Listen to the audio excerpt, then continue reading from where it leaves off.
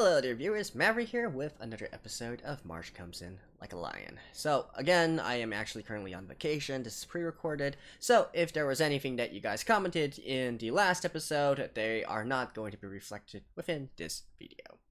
Uh, with that being said, so last episode kind of marks the start of a, I guess, a second half of this season of Sangatsu no Lion, and also it's um, sort of like the start of a real over a real long arc, right? Now, up till now, we've had the stories still interconnected in some sort of way, uh, with an underlying tone and whatnot, especially in regards to Rei and so on and so forth. But here, it seems that we are actually going through this entire tournament, and which is going to culminate in the show showdown between Rei and Goto, the abusive boyfriend, um, cheater, sleazebag that's currently with Kyoko, right?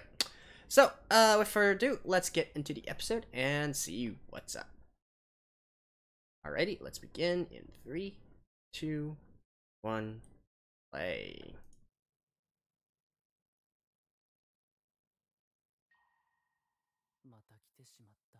Oh, again?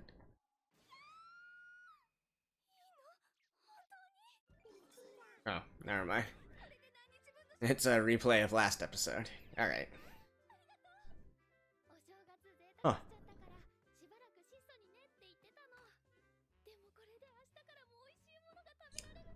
This is actually a quite a long replay. I mean recap, not replay. Uh, no, it's not even a recap. It's literally a replay.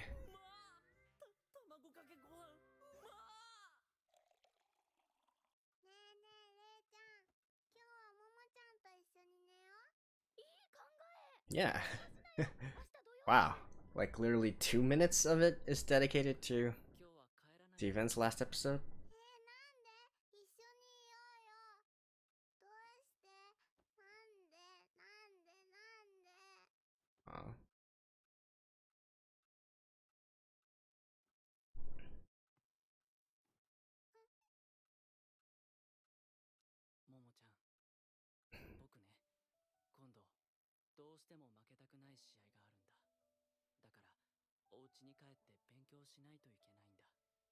勉強？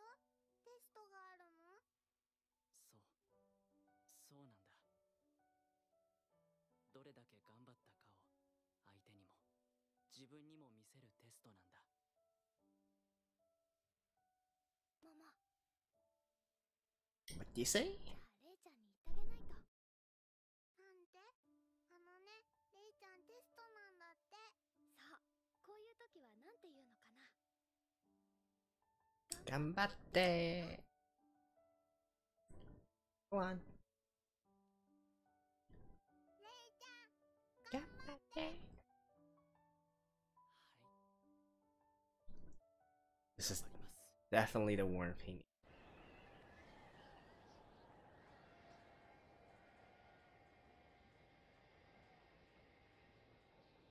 Hmm.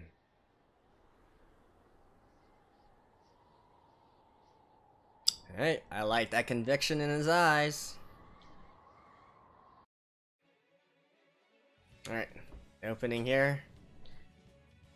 I actually, I kind of forgot. Did I say that, um, was it you guys who preferred for this series to continue on without me cutting the opening out?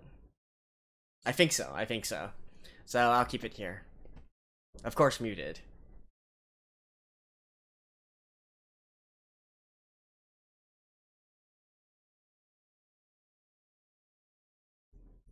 So obviously, we're not gonna be seeing um, Rei versus Goto in this episode. Probably still need to build it up a little bit.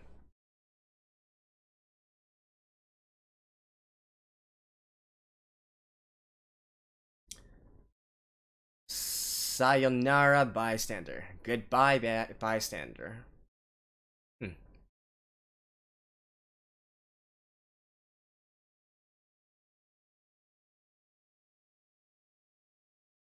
This guy definitely looks like a final boss character. He, gives us a very similar vibe to Rei as well. I can definitely see Rei becoming someone like that guy in the future. Oh, and I love this scene. Right? Hey, turn it into these three. That's your new family, Rei. Just accept it.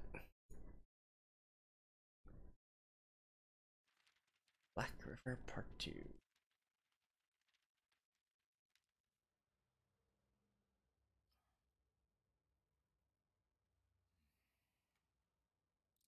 And sleep.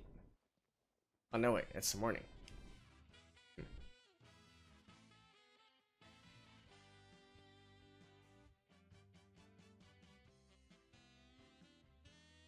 Oh yeah, he did mention he's a bachelor as well. Looks like he actually cooks uh, a good breakfast though.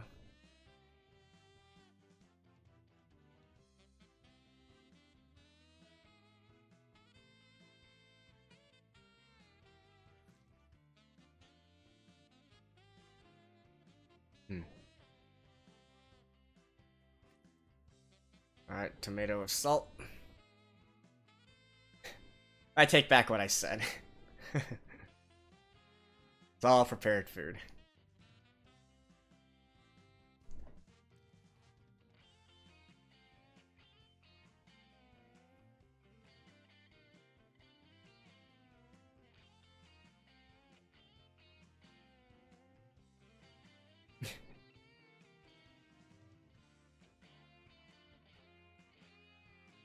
How long is this thing gonna go on for?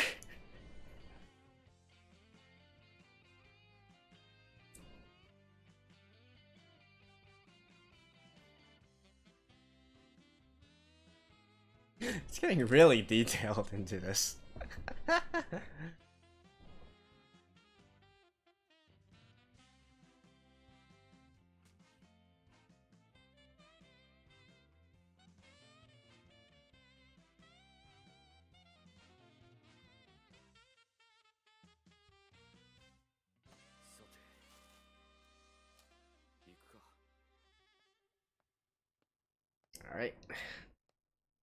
the battle. It's going up against Goto in a special room as well, so I assume it, it's going to be broadcast or something.「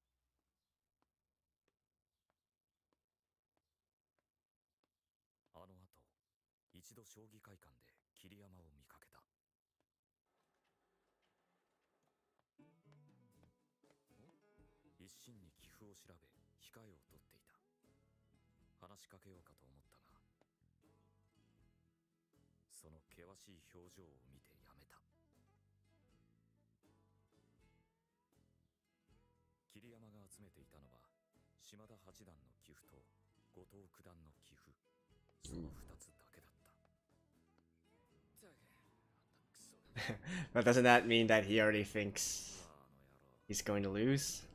Yeah.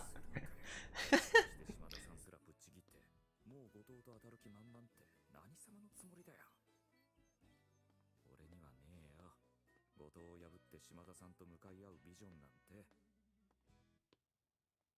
だけど分かってる。そうだ。そこが問題なのだ。Doesn't see himself winning. 見たビジョンはただの虫のいい思い込みともまた違う。俺たちはプロだ。受け入れようが目をそらそうが。自分の力量は残酷なまでに正確に。胸のどこかで測っている。Doesn't win. それが測れてこそのプロだ。勝てるかもしれないと思える人間がそのまま。勝つ可能性のある人間だったりするのだ。俺にはねえよ後藤を破って島田さんと向かい合うビジョンなんて。つまりそういうことだ。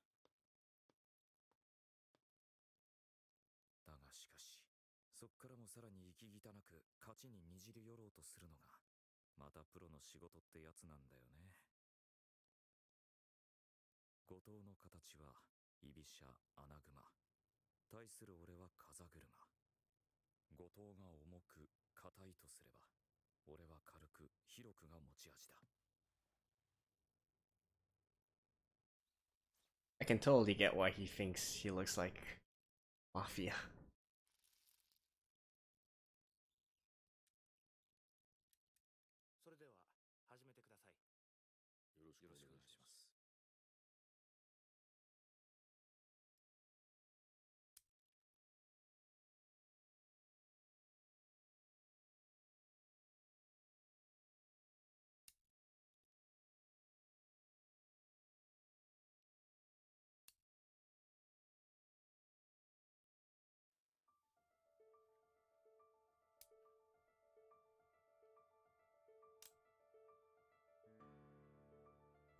Okay, looks like he's prepping already.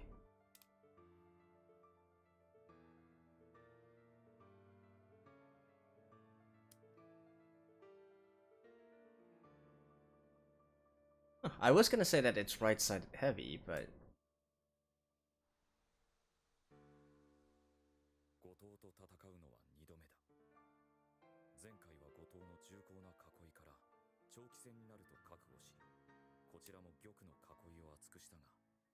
慣れない甲冑に心情であった身軽さをそがれた形になり結果は惨敗だった。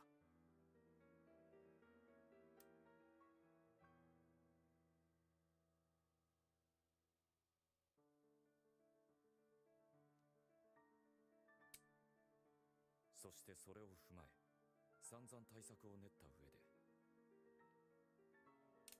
今回は自分の得意な形でぶつかることを決めた。attack? 俺はあまり玉を囲わず Hmm. 素早く動き回り小さな傷を無数につけ相手の体力を奪う対する後藤はじっくり固く囲って重たい一撃を狙って Bear in the castle. その一撃を食らったら最後だ1ミリも集中を欠くことが Sort of like castling in chess. だがやってやろうじゃないか you know, putting your, your king to one side and then layering defenses on there.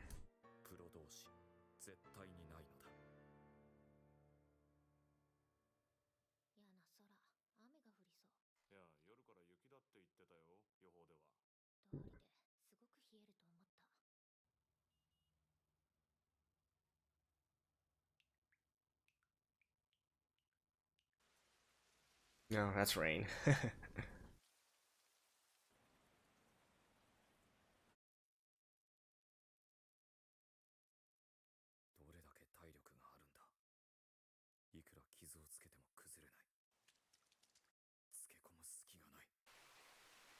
くらいの出血ではびくともしない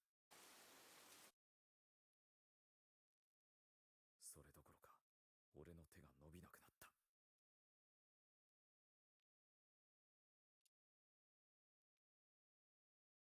I guess he's just waiting for one opening. There it is.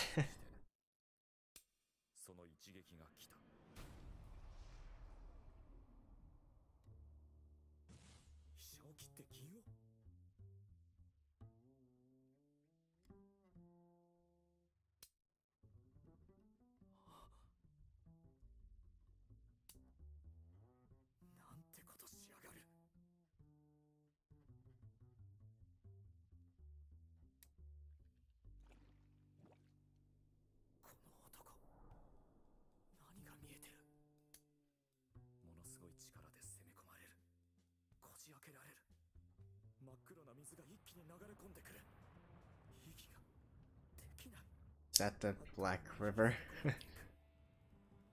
皆そこまで they really do like to use water in this series.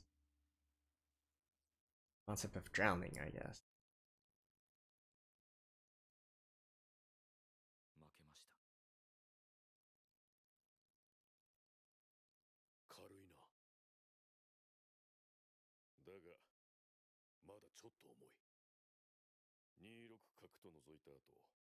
52金左と守ったな。63金と上がった方が良かったな。あれで重さが出てしまった。身軽さが心情なのだろう。ならば迷うな。Oh, ああざまあねえな。なすすべなく乾杯したあげくつきものまで落とされて actually receiving feedback from him like that is invaluable. To コースかよ迷うななんなんだよあの分厚い男っぷりはいくつよあと10年ちょっとで出せんのか俺あの迫力モテんだろうなあーなんかすげえ腹立ってきたさてととりあえず今日のところはだえーコース入ったらお姉ちゃんのいる店で飲んだくれる B コース外れたら家に帰って布団かぶってワンワン泣く Ooh.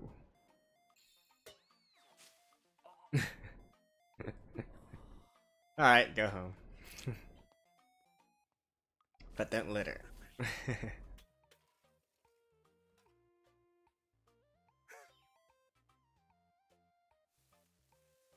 Small cat.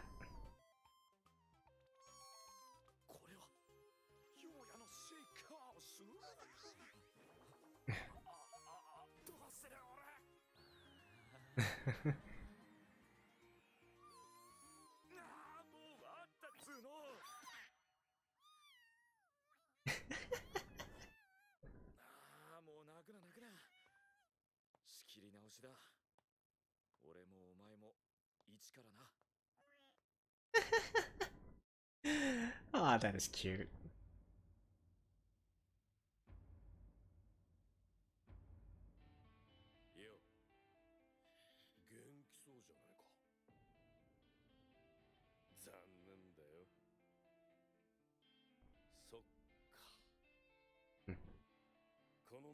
とお前とも当たることがあるってわけかま楽しみにしてるよ素手で殴るよがもちっと面白そうだしなあそうだお前から幸田の親父に言っといてほしいんだけどあのストーカー女のことだけどさ Then again, I I kind of want.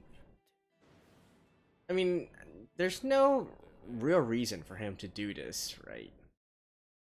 Is he doing this purposely? In some sort of way? Like, yeah, I mean, obviously he's provoking him, but...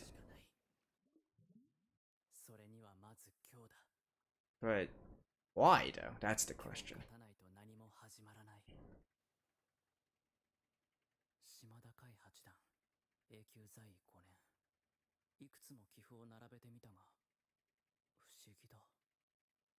長が見えてこない。得意戦法も苦手なものも。つかみどころがない。All rounder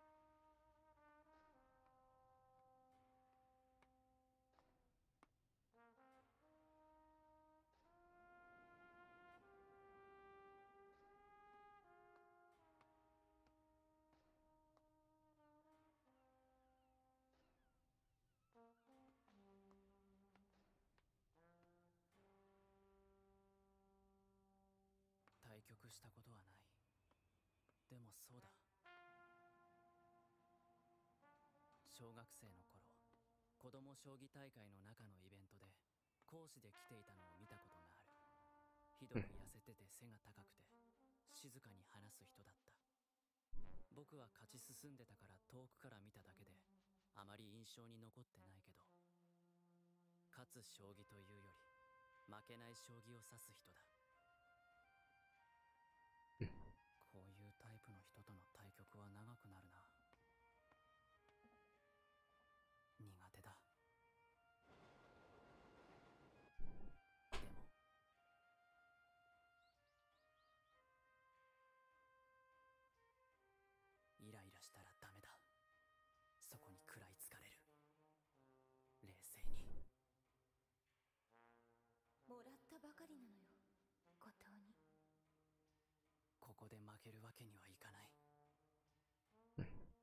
I wonder if it's also a tradition for the lower ranked player to be sitting there first and waiting for the higher ranked player.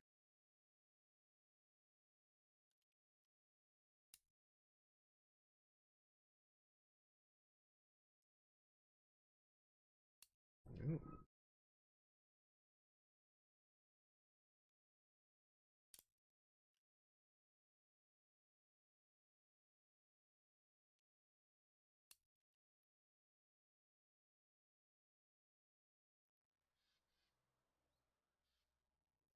局は僕が先手。アイアグラになった。こまでは定石通り。さあ回戦だ。行くぞ。We're not even gonna see his face. All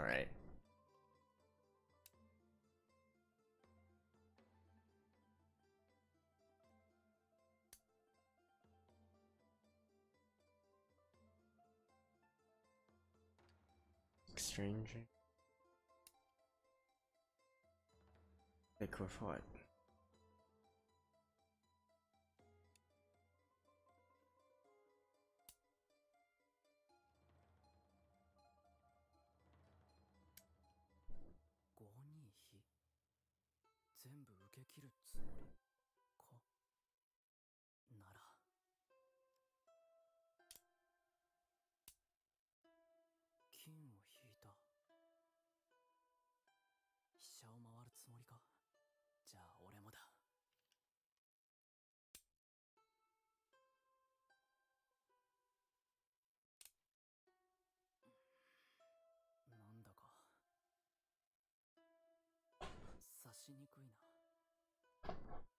Concentrating the same defenses into places that he wants to attack. That's what I get from this.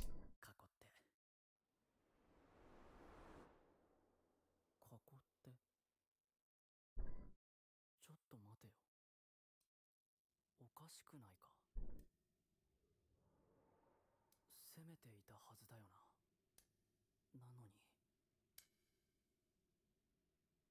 つの間にか守りになっている。なんだこれ。いつの間にこんなに悪く。ミスはなかった。なかったはずなのに。なのになんだ。このこの厳しさは。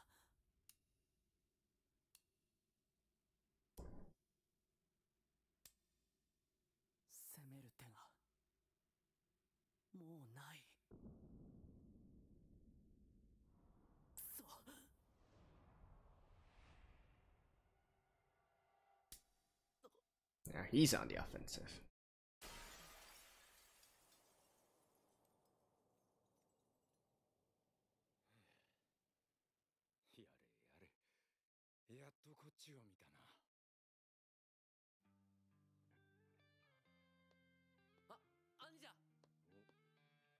Oh, that's his brother?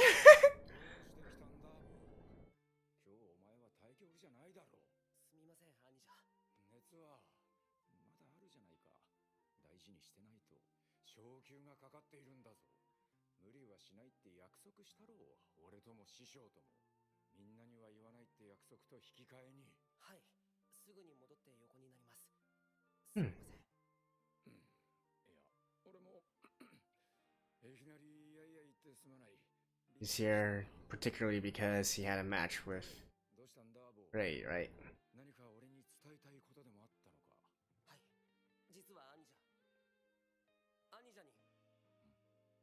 桐山の頭をかち割ってやってほしいのです。棒のやつ何を言うかと思えばまた厄介なことを。さてと。じゃあ続けようか。That, mm, I really don't know what to say to that. Alright. Well, still, see you guys after this. Alrighty, so this was episode 13, and honestly, I kind of feel like I'm just along for the ride here. Um, you know, it, it is compelling to watch them actually battle it out. I do have somewhat of an interest in shogi, right? I do play chess and um, Chinese chess as well. Uh, it's just, you know, I don't really know much about shogi, but it is you know, it, it's at the end of the day, it is a game, right? So I do kind of w- want to watch them uh, play it out. But it's just that there's not really that much to to comment on here, right? I guess I could talk a little bit about the um, you know the sort of differences in style in regards to that was portrayed here uh, in regards to shogi, right? So it's sort of similar to chess as well, where you have the more attacking types and the defensive types. But really, I feel like one defining thing here, beyond the fact that they and it's, it's also kind of uh, similar in a way where uh, both uh, Rei and his senpai. Uh, sorry, I forgot his name. You know, they're more of the attacking types, I guess you could say. They want to move around, they want to make things happen. Whereas the two, their two opponents are more on the defensive type of um, um defensive type of player. They just basically um, you know, surround the king, protect the king, make it so that each and every single one of their pieces has redundant lines of protection behind it, and then wait for the enemy to make a mistake, right? So it there was a kind of parallel here. Really, what was portrayed here, though, is actually the concept of tempo.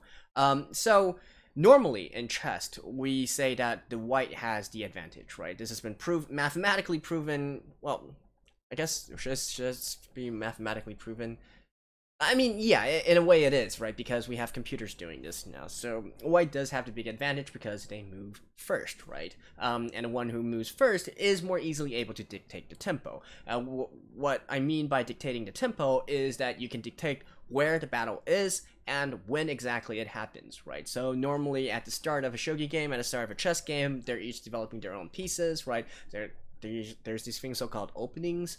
Um, where basically a lot of the pieces move in set manners, like for the first um, 20, 30 or so moves, depending on your level.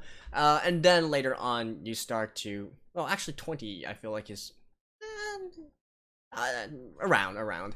Um, and then later on, you, you start to develop into the actual you know the actual battle right however this can be dictated by the one who moves first uh the one who decides all right that's enough enough is enough i want to start attacking now right and it turns out that in this instance, both uh, Rei and his senpai were actually the first to move. So that means that they had the tempo first on their side.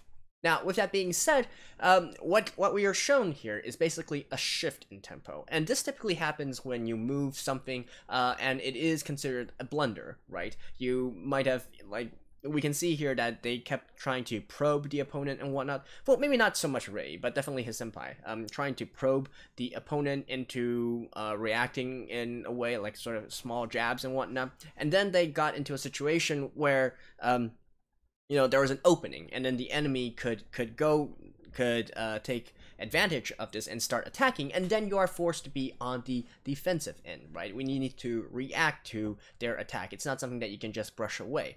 Um, and that represents the shift in tempo here, because now your opponent actually has the uh, initiative. They can dictate where exactly they are trying to um, they're trying to attack, and then it the onus is on you to react to it and to play defensively um, and basically you're reacting to the other party. Now you're not the one taking the initiative. So that is the you know the concept of tempo is actually really important in chess. So i presume it would considering shogi is so similar it must be very important in shogi as well. Um, and basically we saw here a classic example of that. Um, now Rei Rei did this a little bit differently. Um, instead of continuing his attack, he had the mindset of, all right, if there's no good openings, then I'm just gonna default back and continue to solidify my position, right? Which honestly isn't that bad of a strategy. It's just that I guess it wasn't his strategy going into this, right? So in essence, he was controlled as well, even though the enemy did not particularly um, take jabs at him, or he, he didn't actually um, he didn't actually move into any sort of blunder where the enemy could take the initiative. It's just that seeing no good openings, that was what he defaulted to, right? But I feel like that's it's so it's not entirely the same here, but um, I, I don't know. I just wanted to quickly explain the concept of tempo within these kinds of games. So, as for the actual episode at hand, like I said, there's not really that much to talk about. I was definitely surprised by the relationship between Nikaido and uh, Shimada's. Um, so that that was quite fun, but we we don't really know much here yet. I assume we'll know a little bit more in the next episode. I do wonder why Rei was so um so surprised at that move there. Uh, was he surprised because uh, the enemy had now gone on the initiative because that was an attacking move. Don't get me wrong, that was an attacking move. Um, so that's what surprised him, or is he surprised because it somehow reminded him of Nikaido in a sort of way, right? So not really sure here what exactly the surprise is, but um, I'm assuming it's one of those two. Um, and beyond that, I guess one last thing I want to mention is in regards to Goto, right? Because I made this entire uh, thing last episode about how, you know, it, it's clear that this is an abusive relationship and Kyoko is a willing participant in it. Um, or I, I I'm guessing that she's a willing participant in this abusive relationship. Now, the thing here, though, that I'm I'm trying to think of is why exactly would he try to provoke Rei in that kind of matter, right? Like saying like the more I think about it, the, the more it seems kind of weird, right? Like say to your old, uh, go back and say to your old man, tell tell his daughter to stop stalking him. Like what? That that doesn't make any sense at all. Why anyone would want to do that, right? So. I, I don't know what he's trying to accomplish, and I do kind of wonder now if it's he is just doing this to get inside Rei's head, right? He, he's not actually saying this because that's what he thinks. Uh, it's just some sort of way to to provoke the opponent to get them to to get clouded in their emotions and whatnot, or maybe he's trying to test him in some sort of way, right? Um, I don't really know because I haven't seen the entire, you know, his entire backstory, his entire side of the story yet. It's just it got me thinking, right? Now, don't get me wrong, I still think that there's a bigger percent that percentage that he's just a scumbag and the big antagonist of the season, but still, um, we got to keep our possibilities open, right? So there we go. That was episode 13 of March Comes In Like a Lion, and I will see you guys in the next one. Bye bye.